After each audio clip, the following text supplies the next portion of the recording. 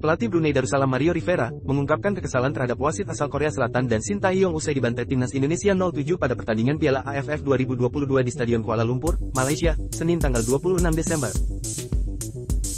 Rivera bingung ada dua wasit asal Korea Selatan yang memimpin laga Brunei versus Indonesia.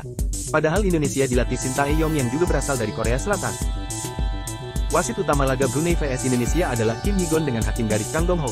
Sementara hakim garis lainnya berasal dari Thailand Supawan Hintong.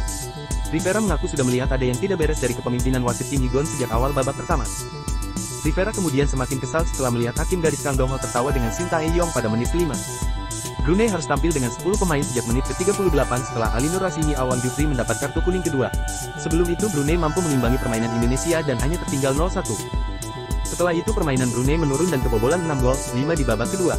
Brunei pun dipastikan tersingkir dari Piala AFF 2022.